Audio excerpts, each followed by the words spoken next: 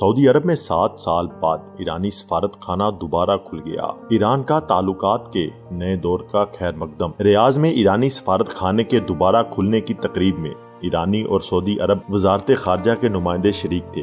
तकरीबन तीन माह कबल चीन ने दोनों खलीजी ममालिक के ताल्लुकात बहाल करने में किरदार अदा किया था, जिसके बाद सऊदी अरब और ईरान ने सफारती ताल्लुकात की बहाली पर आमादगी इजहार की। सऊदी अरब ने 2016 में ईरान के साथ ताल्लुकात इस वक्त मुनता किए थे, जब तेहरान में इसके सफारत खाने पर हजूम ने एक मुमताज़ शिया मुस्लिम आलिम की सजाए मौत के खिलाफ मुजाहरे किए। हम दुआ गो हैं।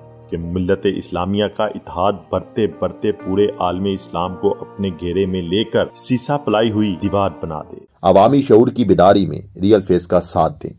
हम पेश करेंगे हकायक और हालात का असली रुख।